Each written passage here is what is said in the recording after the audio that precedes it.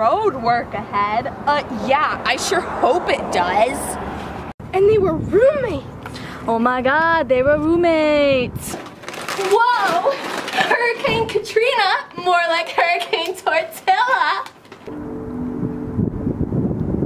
Hi. Okay.